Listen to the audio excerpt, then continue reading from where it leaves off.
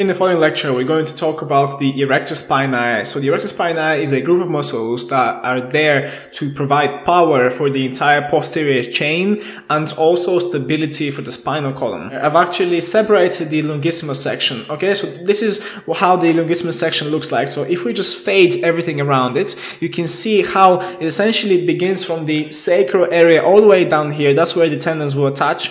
And then it kind of breaks down into three different sections. Here you can see on the left hand hand side. So we've got the longissimus thoracis, which is the main body of, of this section. We've got the longissimus uh, capitis, which is the second body with the second part. And then just so we can have this complete section, I'm just going to add the last one, which is this small chunk of tissue there, which is the longissimus capitis. So I've actually taken off a lot of muscle here. So we've taken off the latissimus, the trapezius, the rhomboids, the levator scapulus. All these muscles are superficial in, in relation to the erector spinae. So what we need to do now, we're going to multi-select the iliocostalis group. This muscle actually doesn't go into the base of the skull, as you can see from up there. So if I just fade everything around it, this is what the muscle looks like uh, when everything else is kind of been removed. So it kind of covers a little bit underneath the scapula there. So if someone has kind of uh, problems underneath the scapula, so a lot, a lot, of people will come in and they have this tension in between the shoulder blades and underneath the shoulder blade.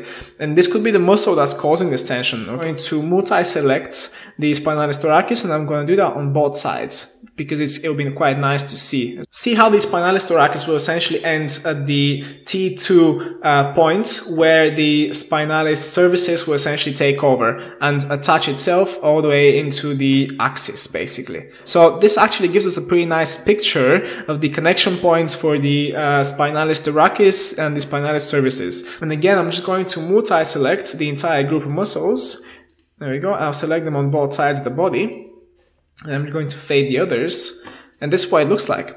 So it's like a, uh, a support that you have that's essentially stuck onto the actual spine. You can see how the muscle is essentially lying in between the spinous process and the transverse process of the actual vertebra. You know, so in the gap between those processes, you got the uh, semispinalis uh, muscles. And again, one more look at it so you can see the occipital bone there and the semispinalis capitis, thoracis, and then cervicis. Okay. Now each anatomy chart is going to give a different depiction of this muscle. As you can see it now, it's like a sheath that's spreading between the uh, spinous process and the transverse process. So like see how it attaches here. So that's, that is a transverse process and that is a spinous process. So it's attaching between the two and it's going up the spine like this. Okay. And then what we're going to do now, I'm just going to fade the other muscles around it.